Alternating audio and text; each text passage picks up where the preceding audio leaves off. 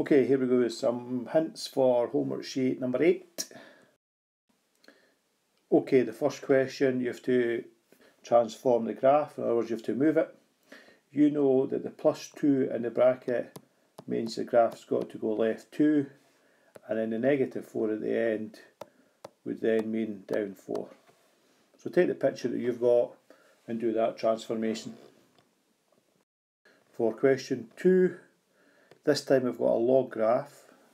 You know that the log graph normally has this line here as an asymptote. But, however, it's been moved across to here. So the number that has been moved across is what you're going to substitute in here. And it's kind of obvious what that is.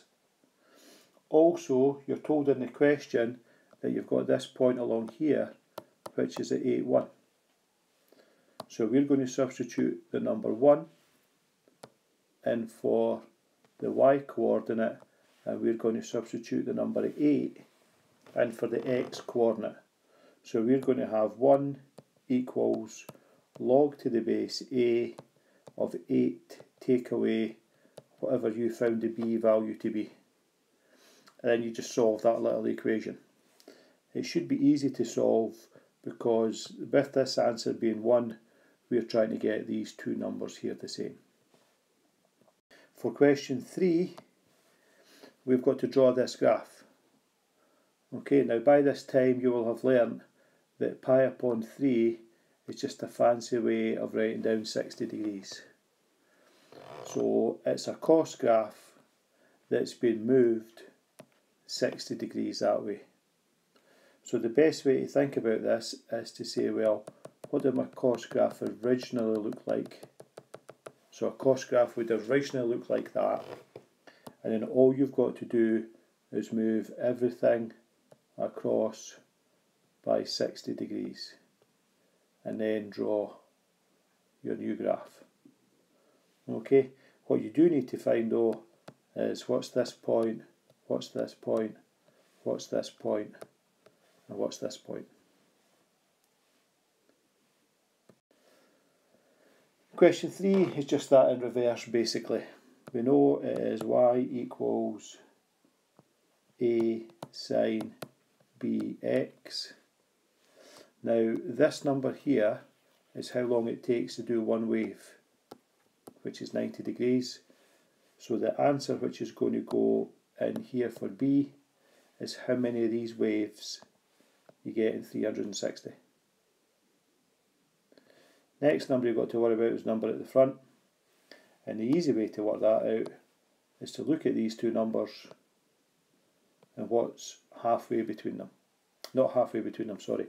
Look at these two numbers and what's half the distance between them. So between 4 and negative 6 is a distance of 10.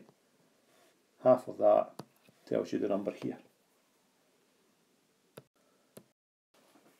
Question 5. Nice wee simple f of g of x question. Okay, we need to put the g formula into the f or we need to put the 4x in here. Question 6, we need to find the inverse function. So how do we do that? Well, we start off by saying let the first thing we had was y equals 4x squared minus 6 and then do a little bit of work and change that to x equals. Okay, how are you going to do that? We're going to take the negative 6 over, then we're going to take the 4 over, and then we're going to deal with the square root. Remember your answer needs to be written in terms of x. Question 7, a wee bit more complicated. Okay, we've got to go from corner A to corner F. So in our diagram, here is corner A, here is corner F. So the question is how are you going to get there? Now I'm going to suggest the best way to get there would be to go along the top and then down the side. Okay, so if I knew the vector along the top and then add the vector down the side, then that would be my answer. So looking at the picture, the vector along the top is vector A to B. And then my vector down the side is B to F. You might think that's not helping, but remember, this vector along the top is the same as this vector along the top, the same as this vector along the bottom, the same as this vector along the side. And we know in the question, because it tells us what h to g is. So we know in the question what this vector is. It's the vector a0, 0. So we just need that to add to vector bf, this one down here. Now that one is the same as that one, which is the same as that one, which is the same as that one. And again, in the question, we are actually told what the vector dth is. Right, we're actually told this one. So get that one, put it in here, add them together to get your answer.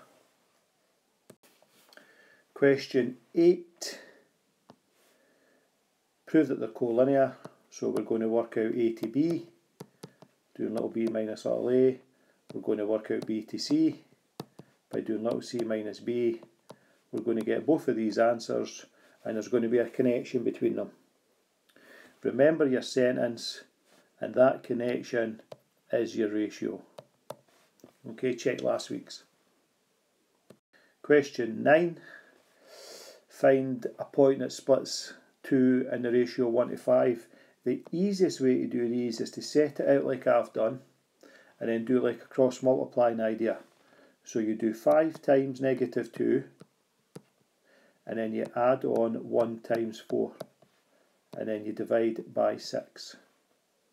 Okay, let me go through that again. So the 5 here multiplies the negative 2, the 1 here multiplies the 4, and then you divide it all by 1 added to 5, you divide it by 6.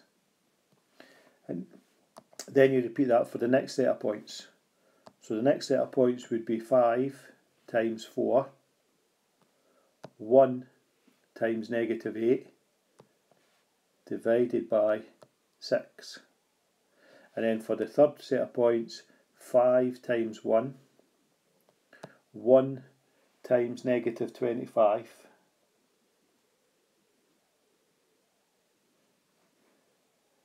Oh, I think I find it's actually 25. I think I made a wee mistake there.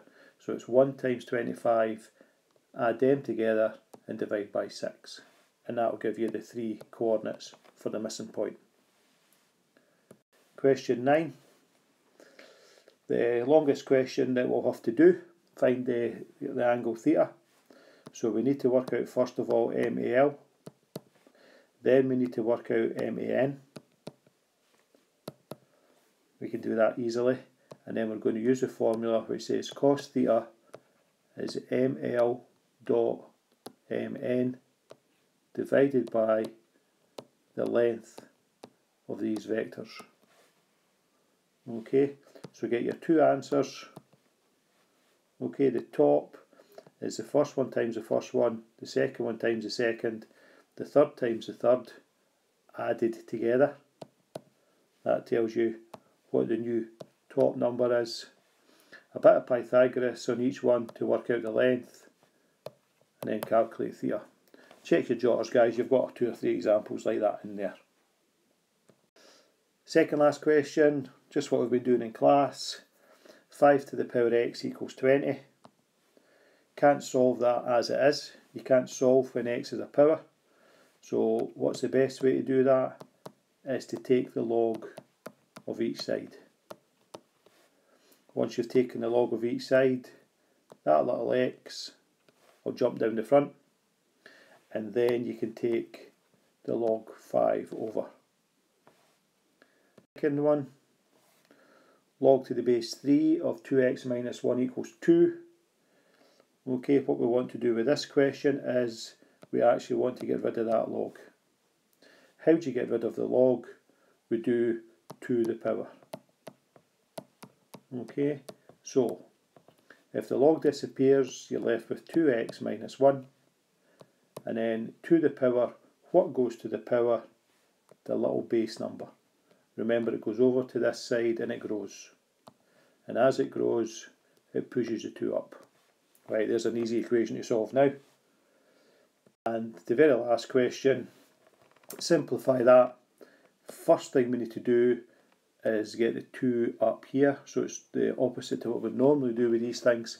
So get the 2 up the top and then we know a rule which says if we are adding logs, which we're doing in this case, we can simplify that by making it log to the base 5 and it's the first one times the second one. Okay, hope it helps.